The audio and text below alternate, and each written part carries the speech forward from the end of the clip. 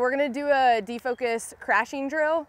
Um, when we focus on our zone play, we really focus on eliminating fouls inside the eight meter. So this drill is gonna be to, um, to get our defenders comfortable with crashing without contact, extending their arms before contact's made, um, uh, eliminating fouls, so eliminating a lot of checking, um, to create an opportunity to get the ball back out of the eight meter. So the drill will initiate with a pass into the eight meter where there'll be a attacker marked with a defender. That on-ball defender will be forcing to her crashing defender who's gonna be coming from the crease. That player's job is to get in position, create a V similar to what we would do in a double team, uh, sit low, arms extended so that when that attacker turns into the second defender, they're creating a double that is initiated by the attacker and not the defender, eliminating foul opportunities.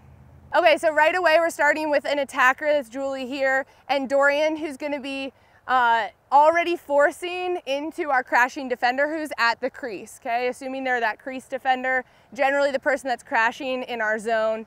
Um, the ball is gonna be initiated with Shelly. As the pass is in the air, Haley's coming up to crash. As Haley comes up, her knees are bent, she's sitting low, arms extended so that when Julie rolls into her, okay, that double is initiated by Julie, eliminating any contact fouls. As they sit in this double, we eliminate checking because this is, tends to be where we get kind of the back check and we create an, a second foul opportunity.